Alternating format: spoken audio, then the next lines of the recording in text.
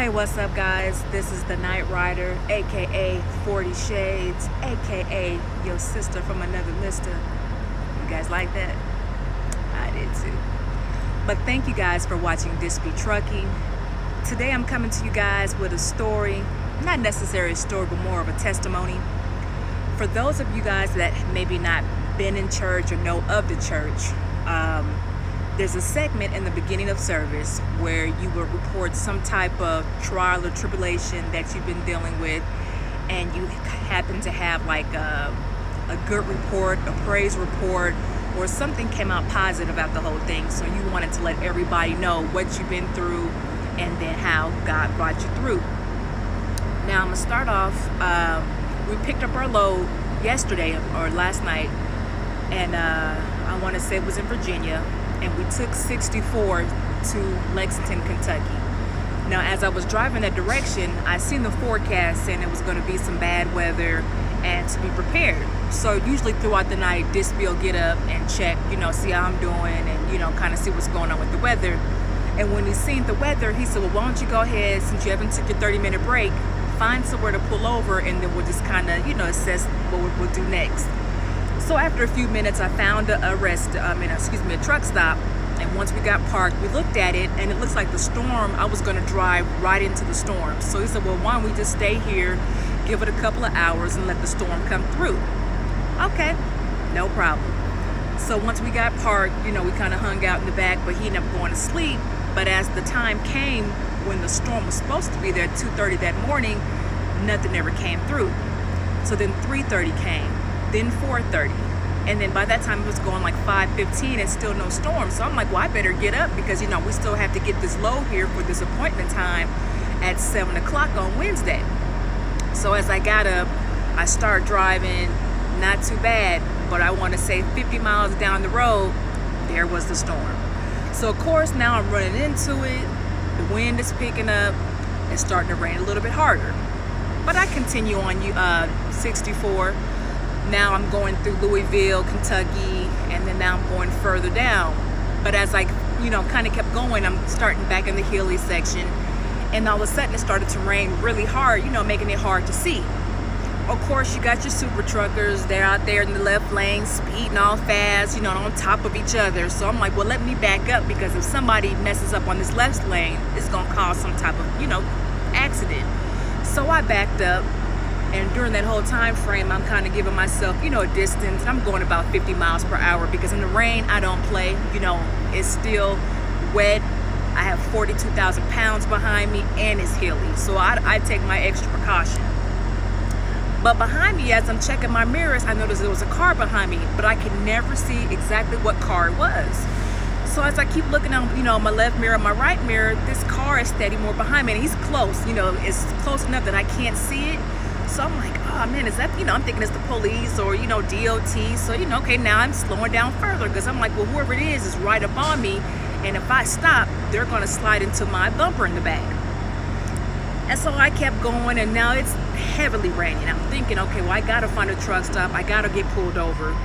And as I kept driving, there was the uh, pilot exit 92.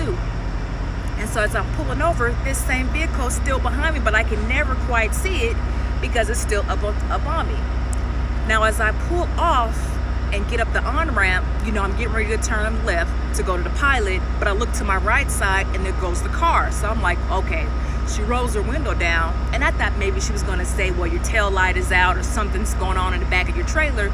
So I rolled the window down. So she said, thank you. And I'm like, huh? She goes, thank you. Thank you for getting me safely home. And I was like, oh, okay. You know, at the moment, I didn't know what she was talking about, but come to find out that she was following me from where we had met all the way to that exit and she turned right to go safely home. So I guess the, you know, the trailer was the shield of the heavy rain, protected her the whole time she got home and she was thankful that I got her home. So that, you know, that really touched my heart because all she, what she didn't know is I was trying to get myself safely to a place and pull over and she was behind me trying to get herself safely to get home. So once that happened, you know, I turned off, got to the pilot, and Dis B got up, and he's like, "So, you know, what's going on?" I said, "Well, I'm about to drive into the storm again. There's another the storm that we was waiting for is finally here, so I'm gonna park." And he looked at the map. He goes, "Ah, oh, it's just a little bit. You know, you, will drive right through it." And I'm seeing this. I mean, the, the, the screen is red. I know it's like if I go through this, it's not gonna be good if I keep driving with this weather condition. So he's like, all right, just go go to the parking, you know, we're gonna wait it out. So as we parked over and waited it out, it's like uh it's raining and this is lightning and thunder where you can see it through the truck and it's rumbling and shaking. So I'm like, you know, I'm trying to get up under the covers, I'm up under him. I'm like, ooh, it's you know, it's getting down. So it had to be maybe about an hour and a half too before it was officially over. And so, you know, this by this time it was his shift. So he kind of started to drive and then he took over and I went to bed later on today, basically we get driving, you know, it's my shift. You know, I started about four o'clock and we're heading down I-70 coming up towards uh, Hays, Kansas. Now he's in the back, mind you, you know, watching DVDs, you know, his movies and stuff. And um, I'm driving and I noticed there was a sign that says um, I-70 Hays, Kansas closed, take alternate route. So I was like, hey babe, I just drove past the sign and saying that um, I-70 is closed. And he's like, oh, for what? So he goes onto the map. And if you guys haven't seen our Instagram page, it actually shows a closure. So it, it was a closure that was probably, God, I know it's a couple of cities. I'm not sure how, maybe, I don't know, 5, 20 miles. I don't know, don't quote me. But it was blocked. And so he went to the website to find out exactly what it was and I guess earlier that day, the wind was blowing so hard between WaKeeney, Kansas and Hays, Kansas that it got up to 80 miles per hour, which caused, now this is what the report, some reports say three trucks, another report said a 20 car, a 20 semi pileup crash in that vicinity, closing I-70 down. So we actually had to get detoured. That took us maybe about 60 miles out of route. But the testimony is, as I kind of regress, go back, if it wasn't for us pulling over the day before, you know, the three to four hours because of that storm, and then if it also wasn't for this morning storm that we put over for two hours, we would have been, you know, probably in that same storm getting to our destination. I mean, we got here probably about maybe maybe five to seven hours late, but we had a little cushion in our load but we would have been mixed up in all this wind and all this semi. So I was just so thankful that God, you know, allowed the day happen the way it did that caused us to be delayed. Because I'd rather get an outer route mile any day than be stuck in some type of construction. So that's my testimony. We, made it safe. I'm here at the Colby, Kansas uh, pilot here off of I-70 after the reroute. And I'm taking my 30 minute break um, just to kind of get my thoughts together and do my video.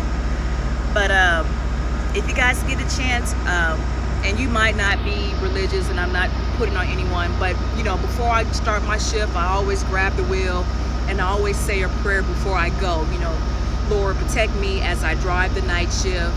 You know, watch over what's seen and unseen. Protect me over weather, construction, other drivers, uh, animals in the road, things in the road that I don't see but give me the calmness and you know to be on the road and get us safely to our destination. And you know whatever you say may be different but from for my own safety that helps me to get through each night. And I say it every day because I need that comfort to know that as I'm driving the night shift I got that hedge of protection over my tractor and trailer for me and my husband. So on that note please make sure you guys like comment and share. And if you had not hit the notification button please do. And also next week is the truck show. We will be there in Dallas, Texas at GATS. So if you guys are planning to come through, leave comments down in this video. Um, we'll be actually meeting up with some other couples like Beauty and the Beast and Married to the Miles. So we would love to put some faces to those names that we talk to on YouTube and, um, you know, chop it up and have some fun. But until next time, you guys, have a great night. I'm gonna go ahead and get back on this run on I-70 so I can make my appointment.